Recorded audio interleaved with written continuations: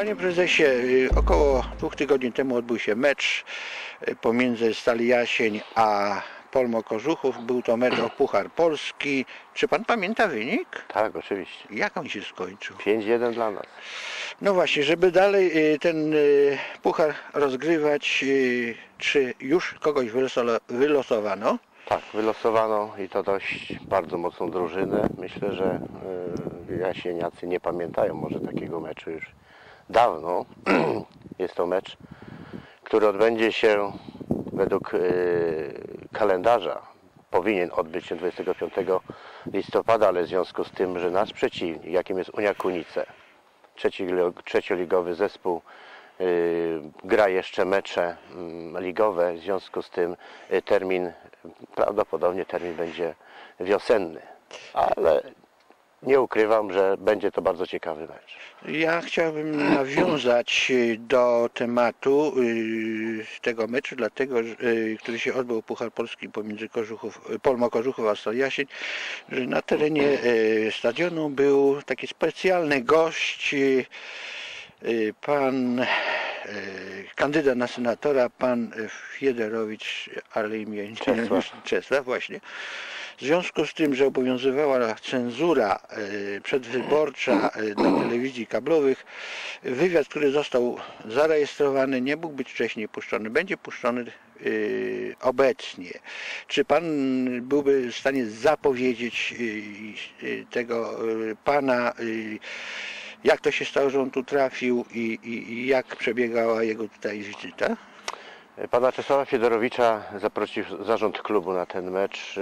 Nie ukrywam, że y, jest to osoba, która związana jest y, z jednej strony polityką, ale z drugiej strony, co nas najbardziej jako klub interesuje, y, jest szefem Euroregionu Nysa Szprefa Bóbr. Nie ukrywam, że celem tego zaproszenia było między innymi pokazanie tego obiektu y, panu Fidorowiczowi. Y, Rozmawialiśmy y, podczas meczu na temat y, co zrobić, żeby ten obiekt zmienił y, wizerunek, bo powinien zmienić wizerunek i to było intencją naszą. Przyjechał, y, przyjął zaproszenie, spotkał się z kibicami, spotkał się z zawodnikami, jest to osoba, która e, nie obiecuje, ale, ale realizuje i tu cała nadzieja dla, dla nas, dla Jasienia, że jest to osoba, jest to sprzymierzeniec naszego klubu. No z tego co się wypowiadał jest nawet i częściowo powiązany rodzinnie trochę z Jasieniem. Yy, zapomniałem, chyba jego szwagier, tak? Nie, szwagierka pochodzi. W ogóle on nie tylko rodzinnie jest powiązany, ale jako piłkarz kiedyś, tak jak po- powiedział w swojej wypowiedzi, jako piłkarz grywał na tym stadionie e, w piłkę i no z ubolewaniem tylko trzeba powiedzieć, że, że zastał ten stadion po dwudziestu kilku latach no, w takim stanie jakim był. Czy po meczu, po tych yy, spotkaniu, jakie się odbyło, które yy, za chwilę Państwu puszczę, jeszcze była jakaś wymiana zdań, która by interesowała mieszkańców? To znaczy się wymiana zdań. Myślę, że to wszystko powiedział pan Czesław Fiedorowicz w swoim spotkaniu y, tutaj z kibicami i zawodnikami. Y, My tylko, tak już powiedziałem wcześniej, y, rozmawialiśmy na temat, y, co zrobić, gdzie szukać pieniędzy.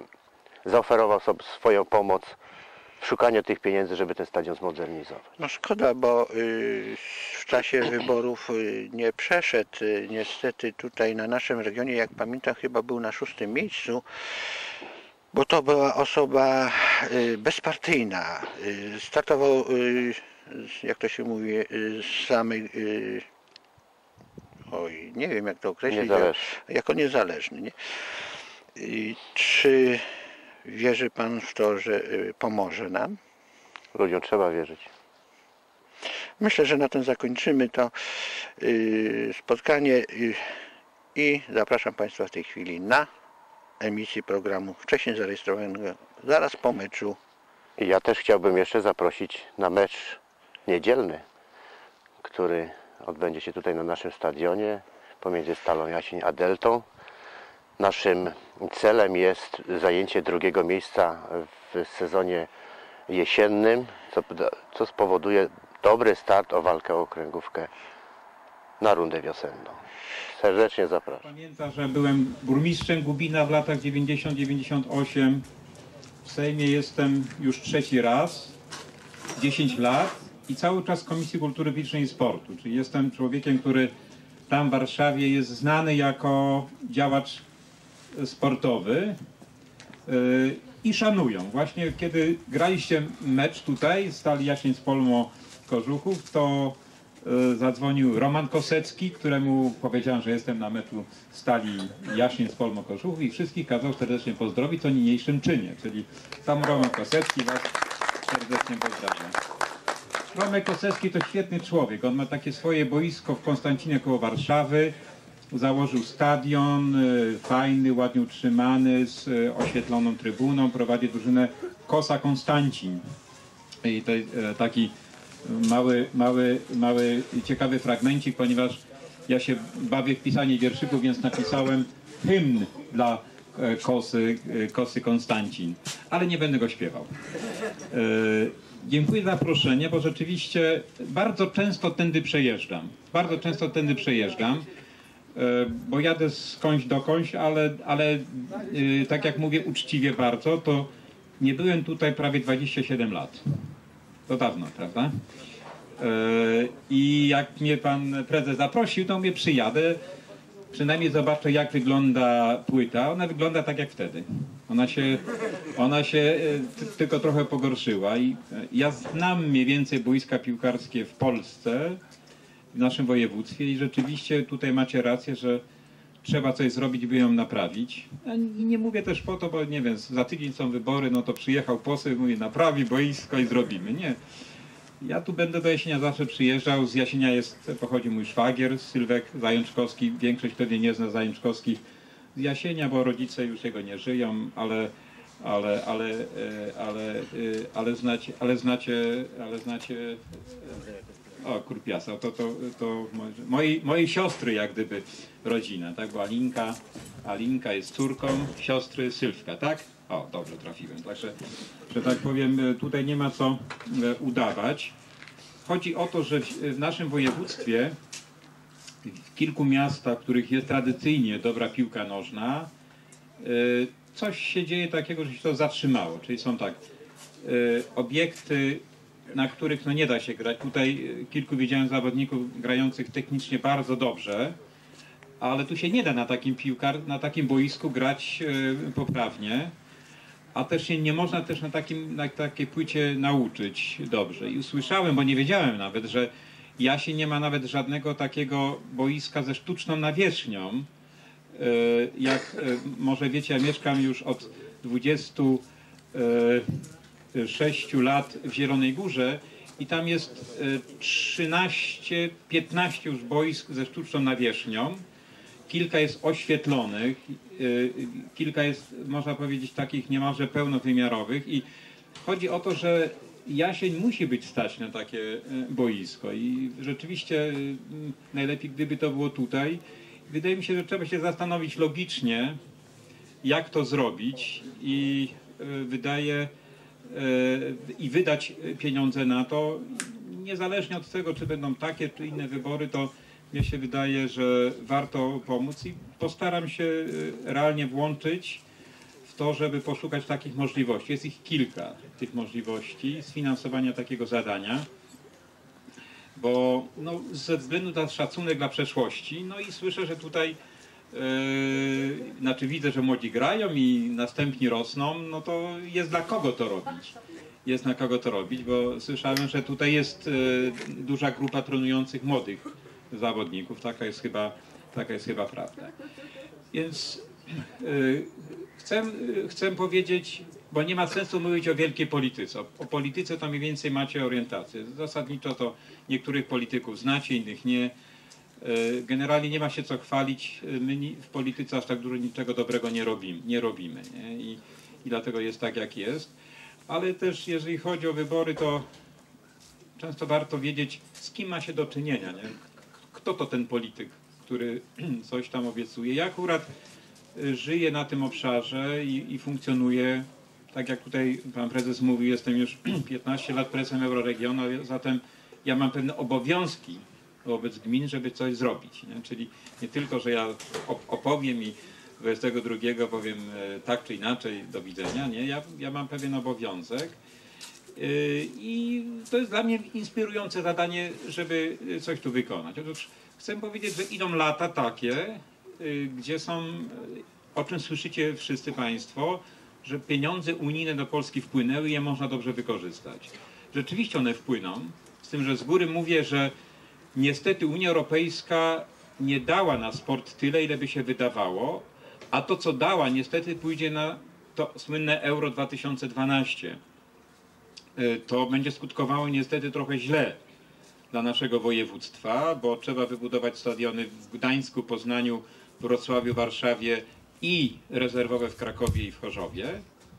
My niestety nie będziemy terenem rozgrywania Mistrzostw Europy w piłkę nożną. E, I mówię to uczciwie, bo y, akurat znam się na kwestiach dotyczących finansowania sportu i mówię y, to po to, byście Państwo wiedzieli, że trzeba się nad tym głęboko zastanowić. Ale jest kilka strumieni finansowych, ministerialnych, tak jak budowa boisk wielofunkcyjnych, jak tak zwany program Blisko Boisko. Y, I z całą pewnością to, co tutaj można zrobić, y, czy trzeba zrobić, kwalifikuje się do takiego zadania. No tylko trzeba teraz zaangażować trochę radnych i władze y, gminy do tego, żeby takie stosowne wnioski złożyły. Bo często gmina mówi, że nie ma, nie ma, nie dostała pieniędzy. Ja tutaj przed chwilą powiedziałem ten, ten kawał z Breżniewem, jak to wyszedł y, Leonid Breżniew, nie pamię, pamiętacie, był taki pierwszy sekretarz Związku Radzieckim, wyszedł na pole, tam nic nie rośnie i mówi, Panie Boże, zrób coś, żeby mi na polu wyrosło. A Pan Bóg się odzywa z góry, zasiej Lonia, zasiej. Więc chodzi o to, że są gminy, które nie występują z wnioskami o pieniądze i dlatego ich tych pieniędzy nie otrzymują. Czyli jak przyglądałem się województwu lubuskiemu całemu, to chyba tylko pięć gmin wystąpiło do, w tym programie blisko boisko. To jest właśnie na takie boiska w małych miejscowościach, w których nie ma dobrego boiska. Ja się nie ma.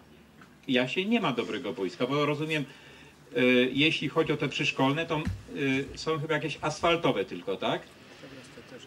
I, ale nie ma, ale sztu- sztuczną nawierzchnią nie ma żadnego, czy też y, taką czy inną. No to Nie ma w gminie. no to w gminie nie ma. No skoro nie ma w gminie, no to, to w, tej, y, w, y, w tym wymiarze jesteście w pierwszej kolejności, bo proszę pamiętać o tym, że są takie gminy wiejskie, czy gminy miejsko-wiejskie w województwie, które mają po kilka takich boisk już. W naszym województwie. W naszym województwie. Ja to nie mówię o tym, tego w ten sposób, by, nie wiem,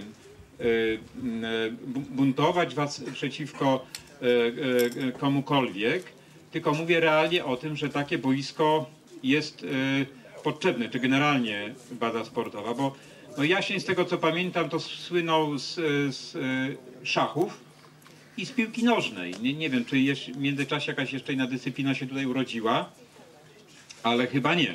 Czyli skoro tak, y, to warto to y, poszerzyć.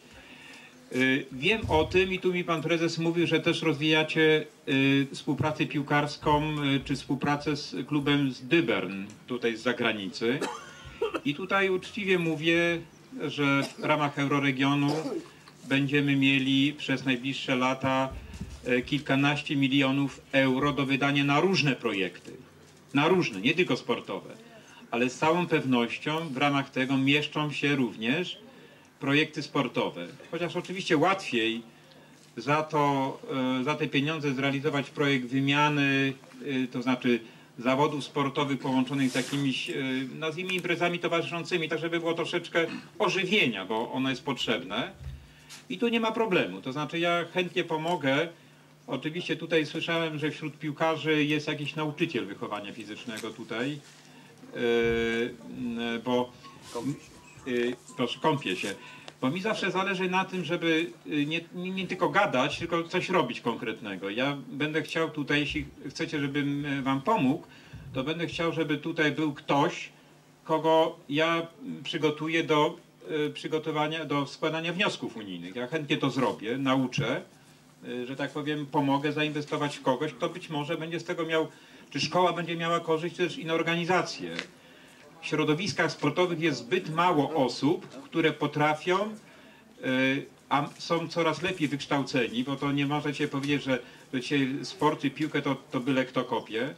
Moje dzieci skończyły i córka i syn szkoły sportowe, czyli ja jestem bardzo sportowy, wprawdzie pływackie, bo i córka moja skończyła szkołę pływacką i syn szkołę pływacką skończył, ale mam ogromny szacunek do sportu i, i, i- moja żona też.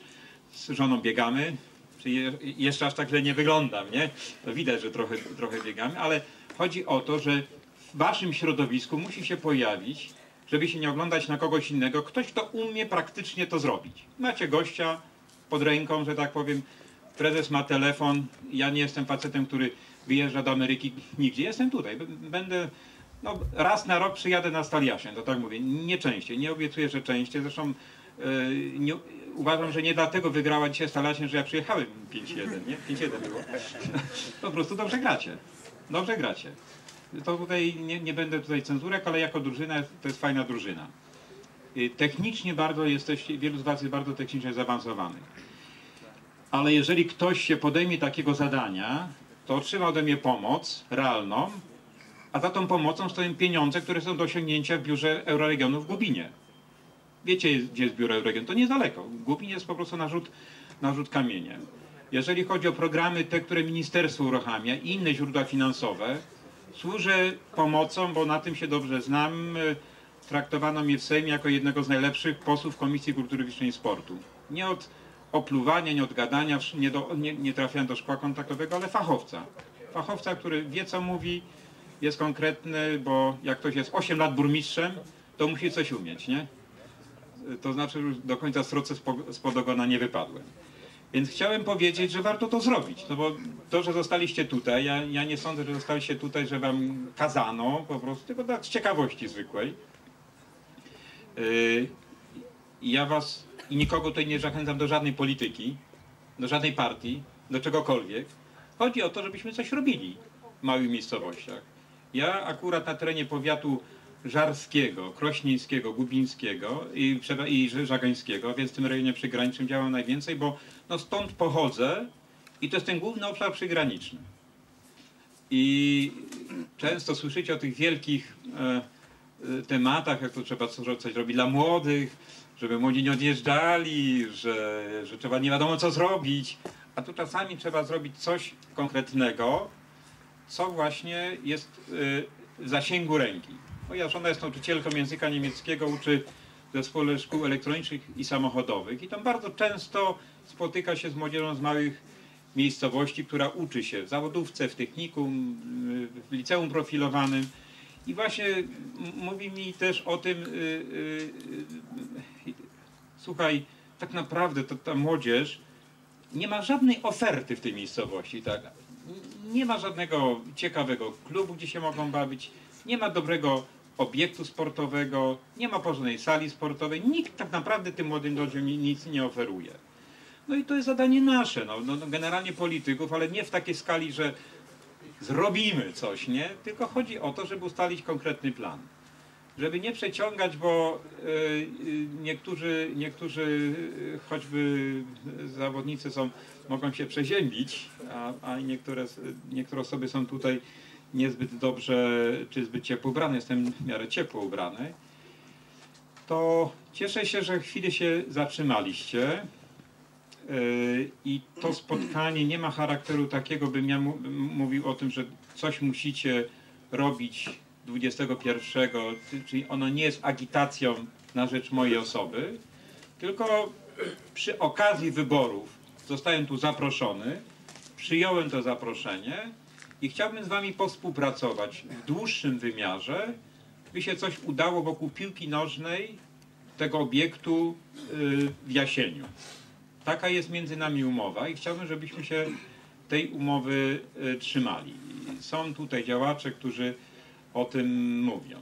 Jeżeli oczywiście kogoś w tej chwili interesuje jakaś sfera polityczna, czy życia publicznego, czy, czy, czy, czy też e, moja osoba, chcielibyście zadać jakieś pytanie, czy miałbym o czymś powiedzieć, to ja z przyjemnością zrobię, bo y, przyjechałem, zostałem i, y, i nie mam zwyczaju uciekania bez potrzeby, to chętnie na to odpowiem. Jeżeli ktoś, nie wiem, czy z piłkarzy chciałby, chciałby coś zapytać, albo o czymś się dowiedzieć, to służę, służę, służę tutaj odpowiedzią. No powiem tyle, że w Sejmie mieliśmy dobrą drużynę piłkarską. Yy, Mieszczę się w pierwszym składzie tej drużyny piłkarskiej. Yy, Nawet strzeliłem 6-7 lat temu pierwszą w historii meczów międzynarodowych bramkę w meczu między Polską a Węgrami na Węgrzech. Przegrany meczu 5-1 niestety. Ale y, mamy swoją drużynę, mamy swój sprzęt, występujemy pod, pod, pod firmą Sejm RP, czy występowaliśmy pod taką firmą. I jest trochę piłkarzy dobrych. y, W Sejmie jest dwóch bardzo dobrych piłkarzy. Roman Kosecki, właśnie, który dzwonił przed chwilą.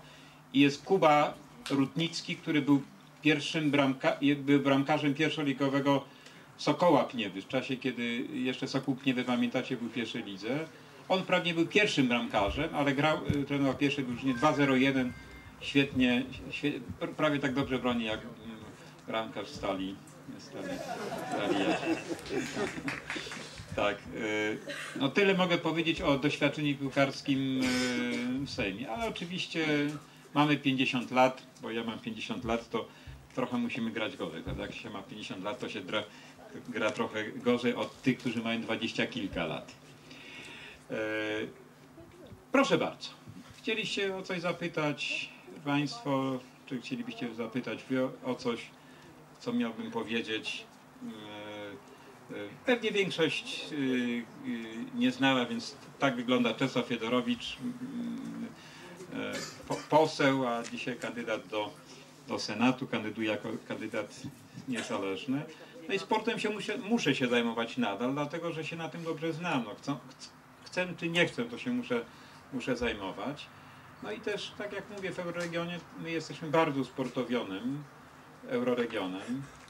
Wydaliśmy przez y, o 12 lat 18 milionów złotych na różne projekty międzyludzkie w tym euroregionie. To duża kwota, 18 milionów, przyznacie. W jednej gminie, do jednej gminy trafił milion, do innej 3 miliony, a do innej 300 tysięcy. No i oczywiście wszystko zależy od aktywności.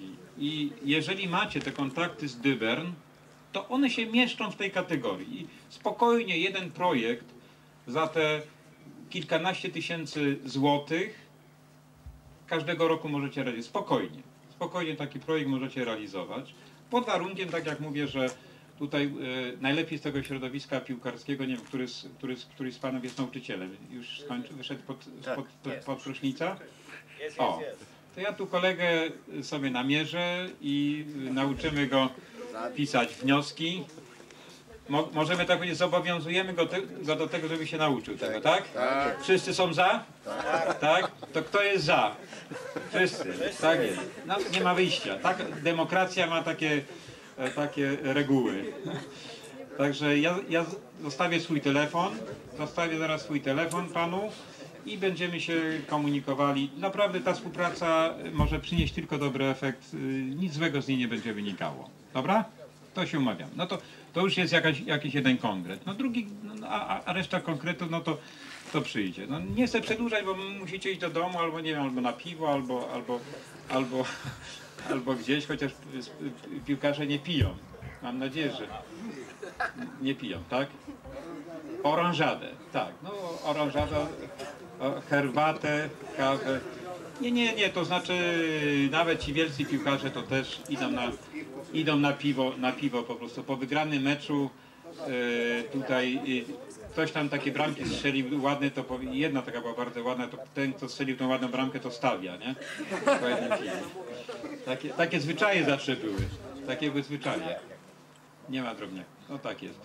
To znaczy Ale dobra jest jak jest. No Jest- mówcie, mówcie co. No mówcie, jak chcecie coś zapytać, coś powiedzieć, to no, no znaczy tak, y, y, zapytam, macie ochotę, żebyśmy się raz przynajmniej w roku spotkali przy okazji jakiegoś meczu, o tak jak teraz, nie? Żebyśmy się spotkali po jakimś meczu powiedzieli tak, to nam się udało, z tym jesteśmy do przodu, a, a, a z tym nie. No to, po prostu. Yy, tak jak mówię, Spotkać No. zawsze możemy, tylko No żeby już ta płyta była nowa. a czy z płytą, no to trzeba, wiecie, dzisiaj, dzisiaj, dzisiaj z płytą to Będzie trzeba... wygodniej. Nie, dzisiaj płytę to musi być, to musi być konkretnie. Niestety tego się bez pieniędzy nie da zrobić. Trzeba zrobić projekt techniczny. Ja jestem przeciwnikiem jakichkolwiek prowizorek. Dzisiaj płyty się robi profesjonalnie, czyli to trzeba zdjąć, bo widzę, że tu jest glina y, w wielu miejscach.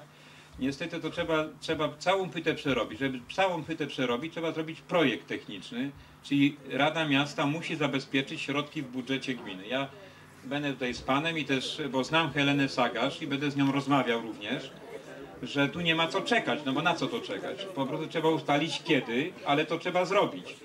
W większości miast e, są naprawdę lepsze płyty, nawet małych miejscowości. Ta płyta jest naprawdę w bardzo złym stanie. Ona jest strasznie nierówna. Ona jest strasznie nierówna. Yy, To, to, to, nawet, to nawet, nawet zieloni łagów mają prostszą płytę niż Stal Jasień. No ale no mój Ty Boże, no to na pewno jeśli zrobimy ranking 12 najbardziej zasłużonych drużyn tego województwa, to Stal Jasień się, się mieści, prawda? Na pewno się mieści. Więc nie, nie może takiej płyty być. No i y, władze mają oczywiście różne wydatki. Ja wiem o tym, że to, to nie jest najbogatsza gmina Jasień, ale, ale trzeba przyjąć taki priorytet, że to będzie zrobione. Bo ostatnio byłem na otwarciu przepięknego kompleksu sportowego w gminie Babimost. Podobna gmina do waszej. Fantastyczna hala sportowa z boiskiem zewnętrznym, z kręgielnią. No to czy tam inni mieszkają ludzie niż w Jasieniu? No więc tu chodzi o to, że, że, że taki program musi być zrobiony i, też musicie oczekiwać od tego i, i prosić, nie wiem, i rodziców, i jak znacie tych radnych, im uświadamiać, że nie ma ucieczki od takiego zadania. No nie ma ucieczki. Sport jest dzisiaj naprawdę e, wymogiem chwili. No, e, naprawdę łatwiej uprawiać sport niż się leczyć. Oczywiście, że czasami się jakąś kontuzję załapie, nie? To nie ma, nie, nie ma wyjścia. Ale, że tak powiem, e, e, to jest wypadek przy pracy tak zwany.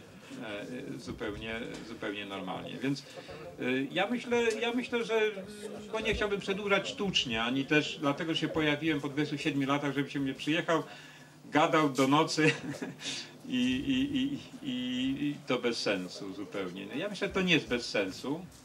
Ja Czesław Fiedorowicz jestem człowiekiem, który dotrzymuje słowa, ale też nie obiecuje gruszek na wierzchu. Czyli bez zaangażowania władz Jasienia nie da się ani przygotować projektu technicznego, ani zrobić. Można zdobyć środki na dofinansowanie takiego zadania. Trzeba zaplanować i rozstrzygnąć, czy boisko wielofunkcyjne zrobimy tutaj.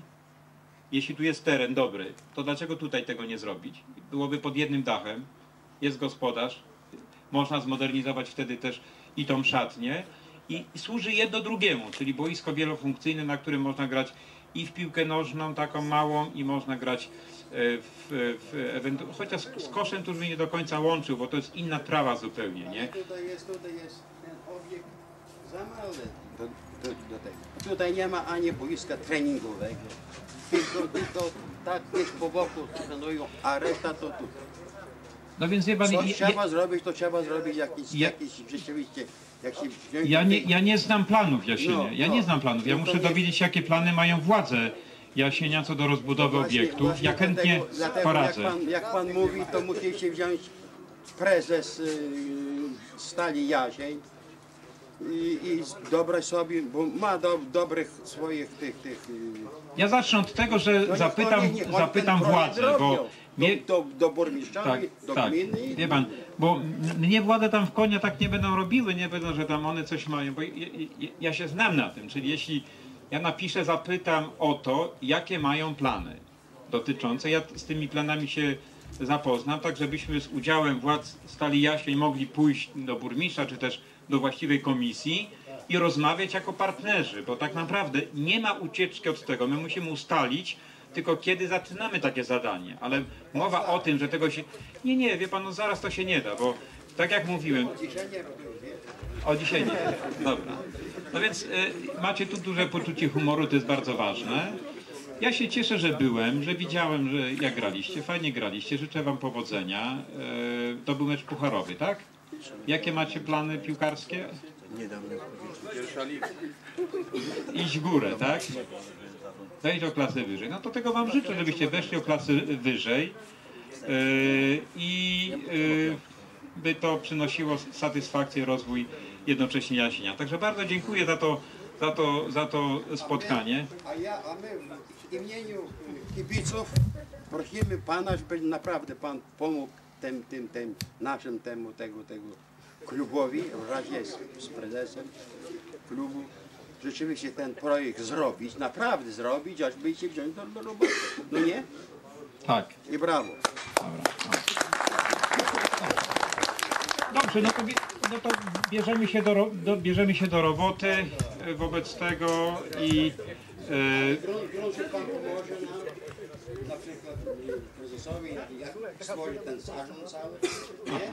nie? No no to macie swój zarząd, nie? To ja, ja do waszego zarządu nie będę wchodził, nie? Tylko chodzi o to, żebyśmy wiedzieli co jest, co jest e, e, e, e, grane, e, żeby była jasna perspektywa. Także bardzo dziękuję za to spotkanie, dziękuję za cierpliwość i do miłego zobaczenia. E, Na Nowej Murawie. No, niech będzie na Nowej Murawie, gdziekolwiek do zobaczenia. No, zapraszam też do, do Zielonej Góry, do, do biura, czy, czy, czy możemy się spotkać gdziekolwiek, e, gdziekolwiek będziecie. Kolega jeszcze jest, nie, nie uciekł, bo no, muszę numer telefonu dać, tak? Dobra. Dziękuję bardzo. Do widzenia.